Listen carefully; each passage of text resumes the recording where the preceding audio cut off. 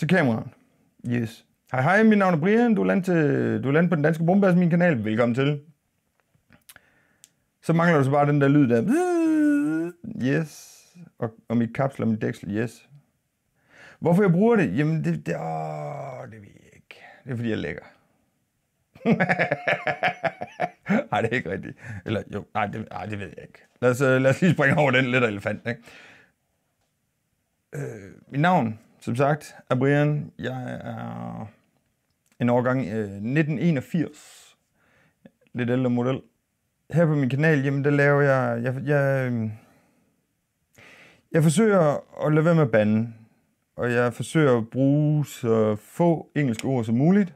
Jeg viser fest og glade dage, og jeg øh, viser, når jeg kører en tur. Jeg viser min familie, når jeg er på besøg derovre. Jeg viser, når jeg laver noget, når jeg laver kreative øh, ting. Når jeg prøver noget nyt. Jeg er også lidt ligesom brumbassen. Det kan godt være, at den ikke kan flyve. Hvilket lov og regler siger, at den ikke, den ikke bør gøre. Men, men det gør den altså alligevel. Så den, den træder jo over regler og rammer og lov. Så det gør jeg også, når jeg, når jeg laver noget på mine videoer, så det er sådan lidt, hmm, interessant, øh, spændende, udfordrende. Hvad, hvad, er det, jeg laver på min kanal? Jamen, det ved jeg sgu ikke. Øh, jeg, øh, jeg forsøger at vise dele af mit liv. Jeg forsøger at vise, jeg forsøger at give øh, seeren et indblik i mit liv, hvad jeg går og laver. Om det er arbejde, om det er køretur, om det er fest, om det er farver, om det er øh, at være sammen med min familie, en weekend sammen med min datter, øh, ferie. Lidt af hvert. Øh, photoshoot, filmoptagelse eller videooptagelse med min, med min, øh, med min veninde. Min hundeveninde. Ja. Det er sådan set det, jeg kan lave her på kanalen. Så det tror jeg faktisk, det dækker godt ind. Det dækker det vist det hele. Det, det dækker det hele. Gør det ikke det? Jo, det gør det. Hvad jeg laver i min fritid ud over YouTube? Jamen, der, der har jeg... Øh, jeg går meget op i foto. Efter jeg købte mit kamera, så øh, fandt jeg ud af, at der var to sider på et kamera. der er videoopdelingen, og så er der fotoopdelingen. Og så tænkte jeg til mig selv, jamen nu når jeg endelig har købt sådan en fin, smart, dyr kamera, så gør jeg det, at jeg tager simpelthen lige og finder ud af, hvordan det ledes med foto, om jeg kan blive bedre til det. Og det synes jeg selv, jeg er. Jeg synes, jeg har taget nogle spændende billeder, fede billeder. Jeg har udfordret mig selv. Jeg har øh, kigge på fotos mange aspekter. Øh, det er jo, der, er mange, øh, der er mange kunstformer inden for fotos. Og jeg ved ikke, hvor jeg ligger. Har ikke den fjerneste idé. Så det er bare dejligt. Der er masser at under, øh, under, underholde sig selv med. Der er masser at udforske i den afdeling. Men det gjorde jeg simpelthen på grund af, at jeg købte et, et, et, et relativt dyrt kamera. Så tænkte jeg, øh, udover den fine autofokus, jamen så kan jeg til, god til video, så, så tænkte jeg, så kigger vi lige dybere i den der fotoafdeling, fordi det skal ikke kun bruges til det. Men jeg skal gå hen og anskaffe mig et GoPro-kamera, fordi det er noget nemmere og noget hurtigere at, at sætte op og tage frem og optage, tryk, bang, så kører vi. Øh, så mit kamera her, det bruger, jeg, det bruger jeg stort set til, når jeg laver øh, optagelser, hvor jeg sidder ned her hjemme på kontoret, eller i kreativ, eller huset et eller andet sted. Så bruger jeg mit kamera til det. Øh, fordi så går jeg og kigger lidt på indstillingerne, for, for det sat ordentligt op, og lyset, og hvordan nu ledes. Så, så ja. Og derudover så har jeg en datter. Jeg er far. Og når min datter så har tid, så er jeg weekendfar. Så kommer hun her forbi, og så er det enten ferie, eller også er det weekend, og så ses vi i den periode, og så har vi det hyggeligt sammen, og laver nogle forskellige ting og sager. Nogle ting dem har ses så også her på kanalen. Derudover så øh, i min fritid så hører jeg musik. Øh, ikke fordi jeg er musisk, jeg sådan, øh, øh, kan, kan, kan spille noget som helst, men, men, men jeg hører musik. Og jeg, jeg holder mig til tre genrer stort set. Det er techno, og det er rap, og det er rock.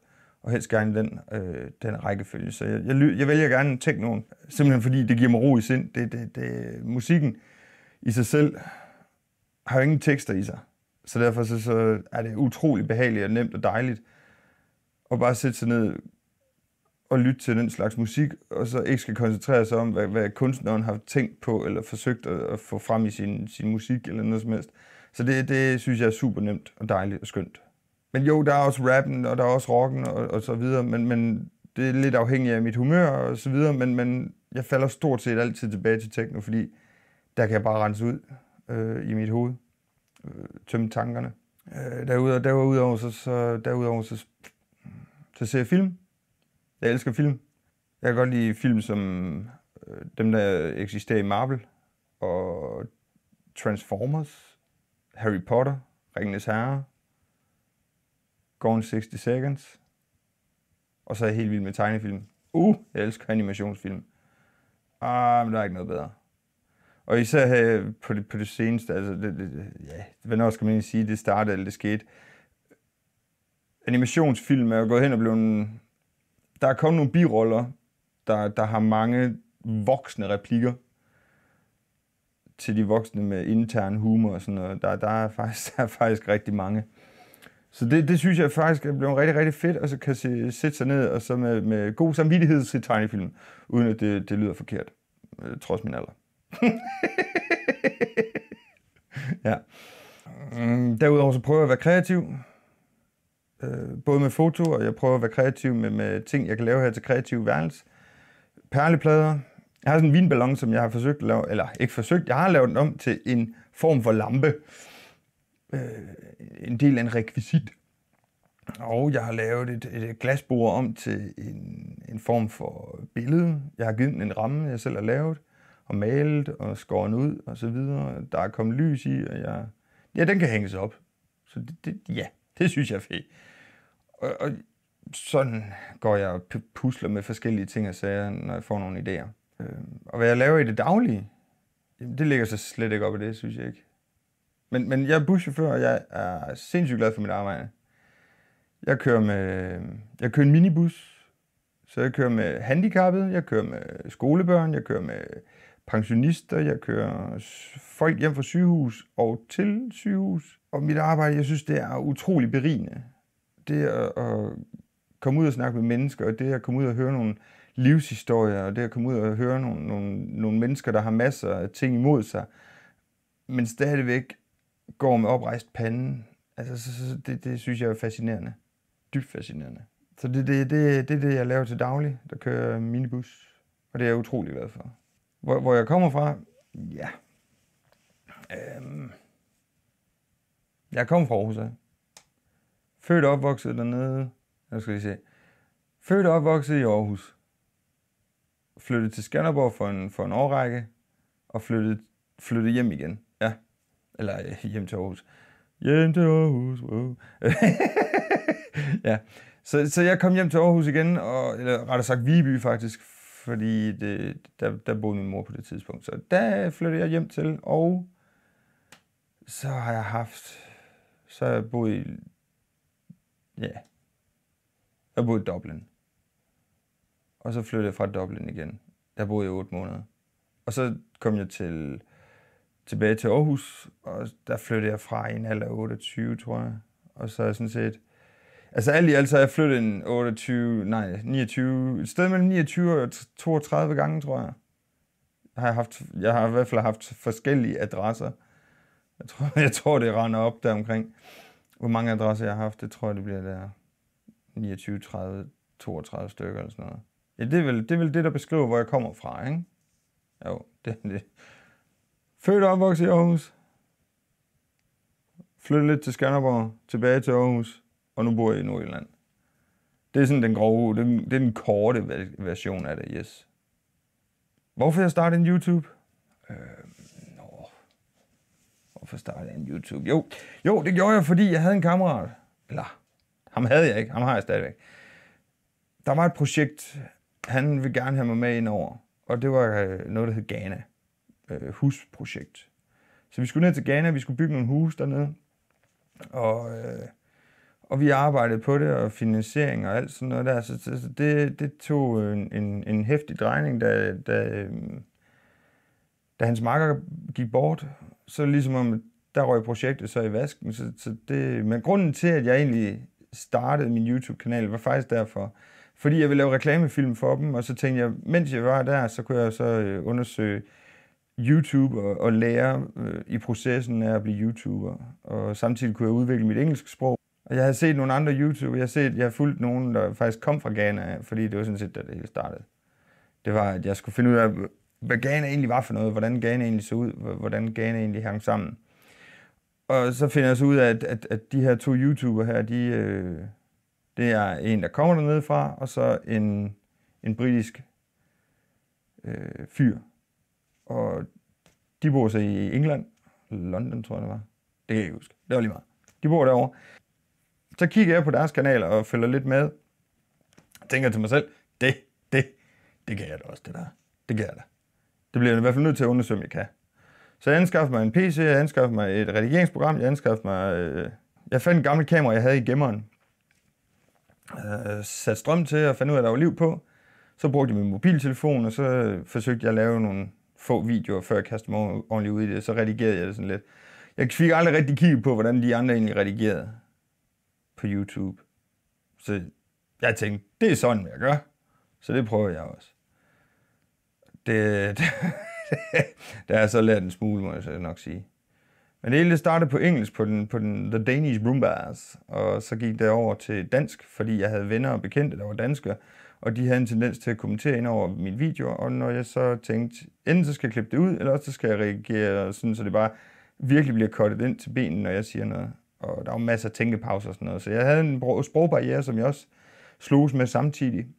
Øh, så, så jeg prøvede, jeg tænker til mig selv, jeg prøver på dansk, fordi jeg på et tidspunkt begyndte at stifte mere, mere bekendtskab med flere og flere danske YouTubere. Og det tænkte jeg egentlig, det var, det var, egentlig, det var egentlig en god idé. Så øh, igennem min, min udvikling med, med, med video og, og alt sådan noget, jamen, så har jeg hjulpet min, min kammerats kone, som har noget, som har noget, øh, noget undervisning nede i Japan. Og jeg har hjulpet hende med reklamevideo, jeg har, eller film, reklamefilm, reklamevideo, øh, hvad, hvad man nu kalder det. Jeg har hjulpet hende med hundeoptagelser og med øh, undervisningsmateriale og sådan noget. Så, så øh, jeg, jeg har lært en del ting, og, og, og, og kan bruge det til, til, til andet end bare YouTube. Så det er jeg lidt begejstret over, at jeg kan hjælpe andre. Øhm, og i min, min YouTube-proces, jamen der har jeg så mødt en del andre danske YouTubere. Øh, One, øh, One Unit, og øh, Galaxy. Og Galaxy er nogen, der står bag en, en, noget, der hedder Supernova, som er et, et mindre, øh, mindre awardshow for, for, for små YouTubere. Og de gør det gratis og frivilligt og alt sådan noget, og forsøger at, øh, at erkende andre danske YouTubere, som er små. Så det synes jeg er super fedt. Og den vej igennem, der har jeg lært andre danske YouTubere at kende, og været, øh, lavet, lavet samarbejde med nogen. Og sådan. Altså, jeg, jeg, synes, jeg, jeg, har, jeg har prøvet en del ting, og jeg synes, det er fedt. Jeg synes, det har været fedt at være, øh, være en del af noget. Og, og være med til at, at understrege andre. Så det, det, det synes jeg har været, det, det, det har været super fedt. Det synes jeg, det har. Nå, ja, det var da en god idé. Lad os lige tage den. Hvordan og hvorledes jeg kom på navnet? Jamen, det gjorde jeg sådan set ved... Øh, et piratskib. Det hedder det ikke. det hedder krigsskib. På det her krigsskib er et dansk krigsskib, som patruljerede kysten nede ved Afrika. På det her skib her, der er simpelthen lige en helikopter, og den hedder, den, den hedder simpelthen Brumbassen. Og øh, jeg synes bare, det er sjovt. Når den, når den lettede, så, så spurgte de altid om, uh, do we have permission to take off with the, the Brumbass? Og det synes jeg egentlig var lidt skægt. Så det tænkte jeg, det var et fedt navn. Og samtidig så ligger der noget andet bag ved brumbassen, det er, at, at brumbassen den gør det umuligt. Den, den mod lov og regler og rammer og, og naturlig lov, så flyver den trods den størrelse kontra vingernes størrelse. Så den gør faktisk det, der hedder det umulige. Og det er sådan også, jeg kaster mig ud i nogle opgaver en gang imellem, hvor jeg tænker, det her det virker umuligt. Det er umuligt. Jeg skulle nok aldrig have startet det. Men uden at kaste ud i det, så finder man aldrig ud af det.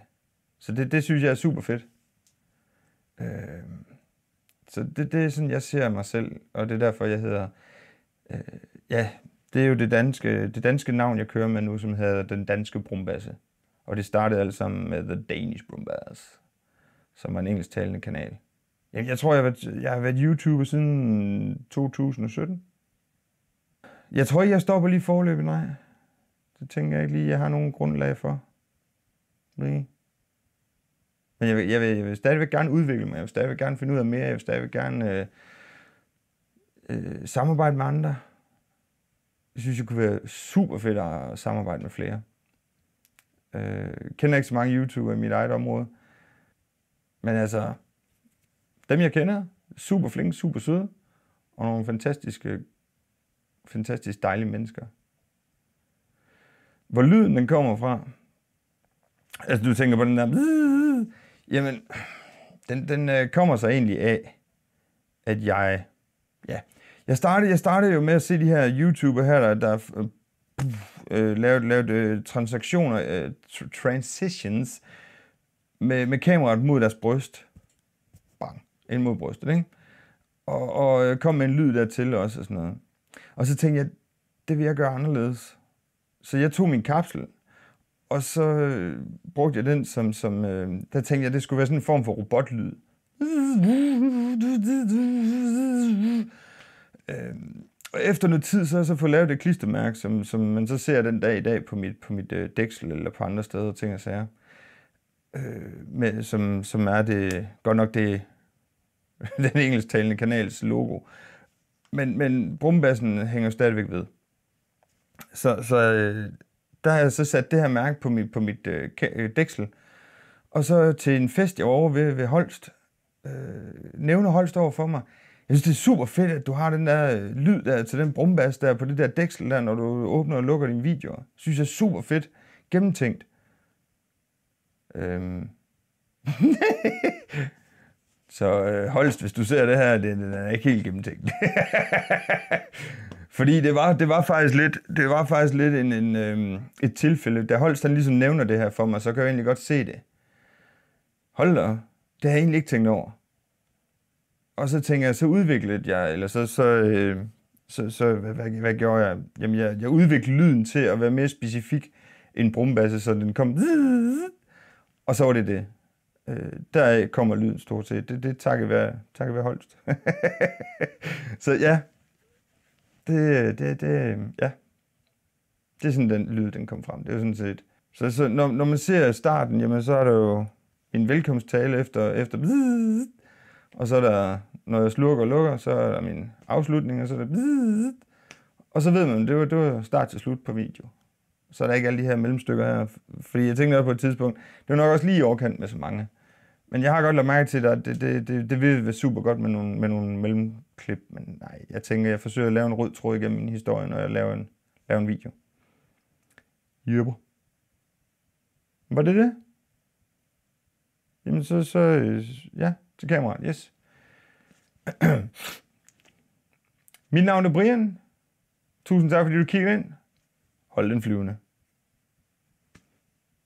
Og liker mig lige ind på facen du liker mig ind på facen. Det gør vi nemlig. Tak for det.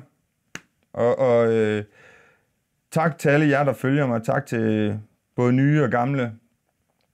Og, øh, og tak for jer, der gider at se med. Det kan vi også lige få sagt, mens vi alligevel er her.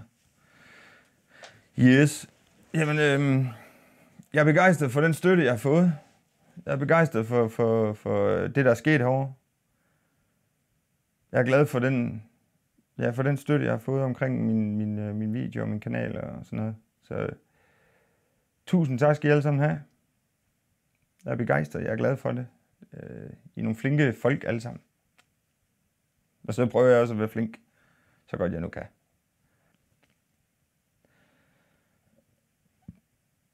Mit navn er Brian. Hold den flyvende. Ja. Super duper dog. Og du synes, det gik godt?